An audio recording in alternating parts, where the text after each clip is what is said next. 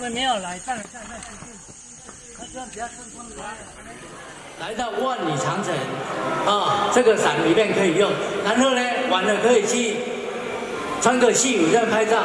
旁边呢，畅达有打卡的，这边有看到不？亚麻有十二粒，啊，各有万叶梅，啊，各有水果水果酒哈，请大家今天的这免费，请大家喝，你们就不用客气，大家享用。